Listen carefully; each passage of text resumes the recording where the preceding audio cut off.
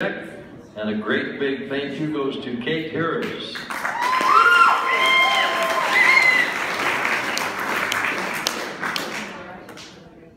Third place win and a check to Teo Squay, Teo Quayle.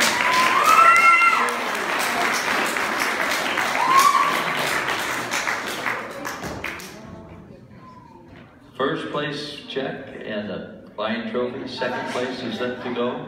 First place that says an and a check and a second place. Second place to Elsa Crotty. Congratulations.